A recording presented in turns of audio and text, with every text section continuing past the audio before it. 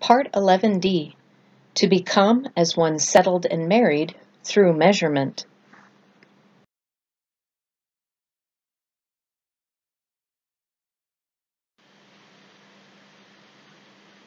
Let's finish up on the word teshvakun. Remember that the root word had a tav added to the free prefix, the place of mother's teaching. The added tav is stating that she has now marked you with the sign of her covenant, as you were measured by her standard, weighed, and found completed through her ways. Teshvakun is a way of life for those who have been marked by her. It isn't simply so much a choice anymore in the process of becoming, as you've become Teshvakun, as it is an extension of your being. This process of mother's teaching changes your nature and you automatically do this action of Teshvakun as you are Teshvakun. It's what you do.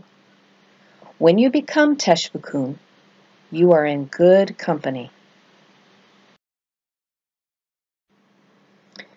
I started out this teaching staying, stating that there is a measurement. In order to receive the mark of the covenant from the mother, there is a standard that she compares you to she has two measurements. The first is tofak, and this word is the handbreadth.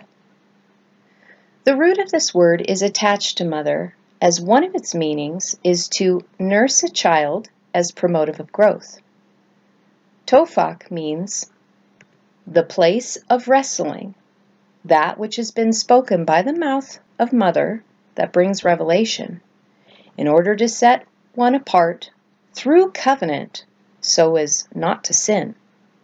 This is either met with humility of acceptance or outburst of anger. Pretty much sounds like a mother trying to instruct her child in the younger years of temper tantrums. Mother, when done correctly in love without distortions, breaks the beast attitude in us. We can actually see this in the animal kingdom as well. Remember at birth, whether human or animal, we are born as beasts and act like it until we are trained up in the way we should go. Tofak is the early portion of her teaching, the milk, and is the first place of measurement. This is the first testing to see if one has acquired the first skill that will be measured by her in order to receive her mark. Do you want to flush someone out who is self-absorbed? Say no to them or set boundaries in some form and fashion and see how they respond. You can see who has been taught the ways of mother and who is not. It is her teaching that pierces the heart so that one does not become self absorbed with potentiality of narcissism taking root. This may seem out of order, but is pertinent to our discussion of measurement. Do you remember when I shared with you that the mother is the protector and guardian of the father's teaching revelation as represented by the hay contained in, within the root of the word? It was the intention for us to receive this in order to become the kingdom of priests and a holy nation, Melchizedek's. Melchizedek is a compounded Hebrew, Hebrew word, Malchi and Zedek, king and queen, that has been empowered and Zedek in righteousness. So the Melchizedek priesthood are the royal priesthood consisting of kings and queens who are righteous.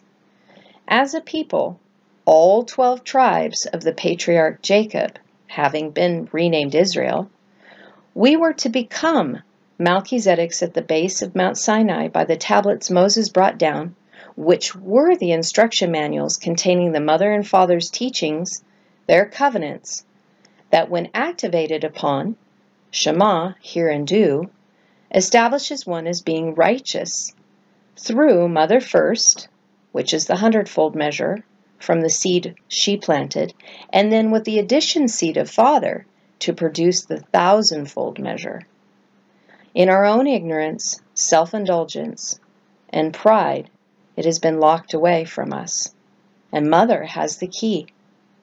Why can I say that? This is the Hebrew word for cubit, amah. A cubit is the length of the human arm from elbow to fingertip, roughly about a foot and a half. Can you begin to see something here from our previous teachings? If you're not, that's okay, but it is found in the Hebrew word for cubit, amah.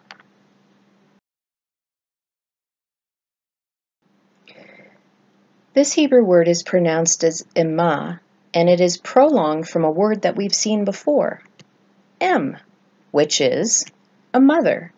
But it's also properly a unit of measure, or the forearm below the elbow, a cubit.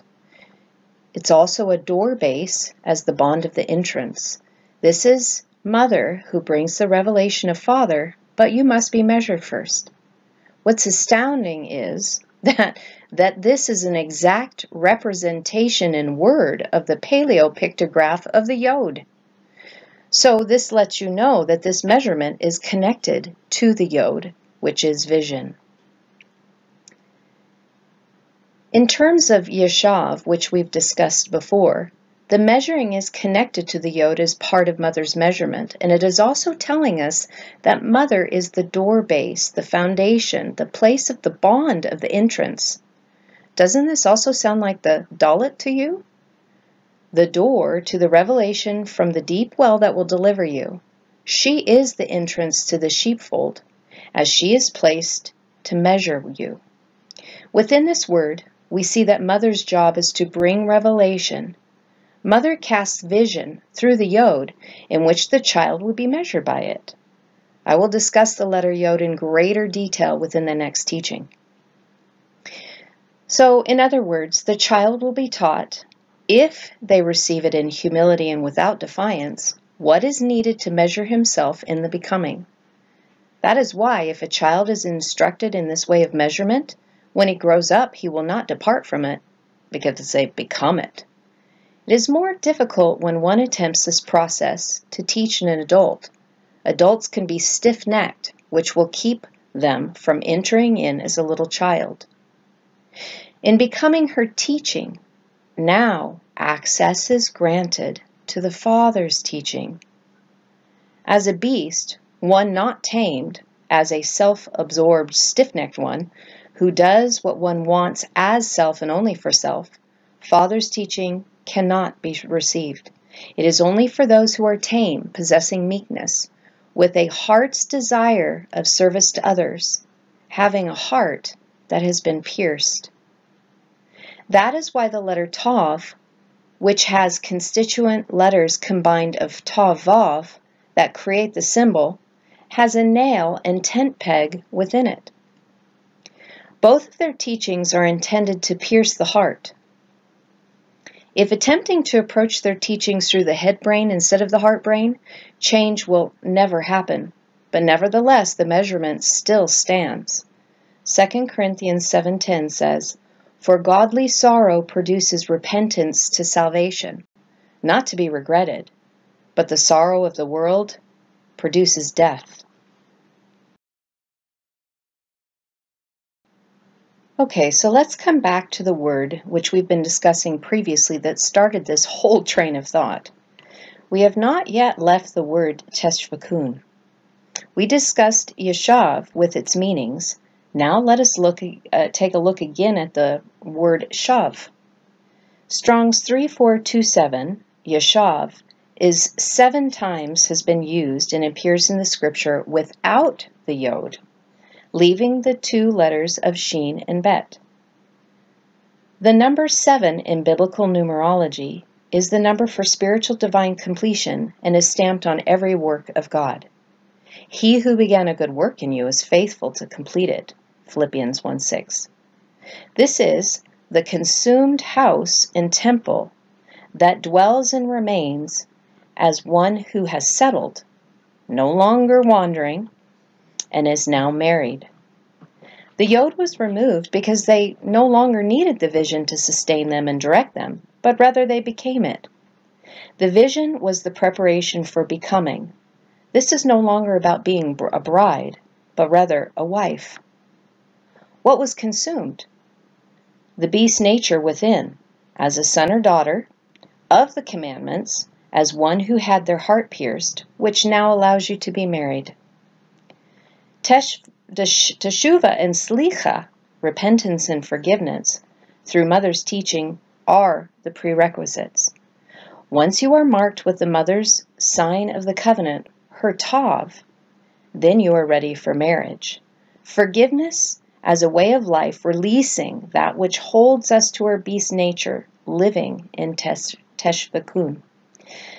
Teshvakun is the fullness of becoming the wife, one who's gone through the engagement period, now to the place of intimacy, of the fullness of the betrothal to the wedding, one who has entered into the dwelling place, the wedding chamber, always walking in forgiveness. She is marked with the sign of the mother's covenant. This is a concept that transcends the act in the flesh, but is a spiritual elevation setting you above and as apart as one who is married to and with the Creator, no longer just the bride, but now the wife. In future teachings, we will be discussing the ancient Hebrew wedding, which will help to assist in bringing this beautiful picture to life as more personal to you.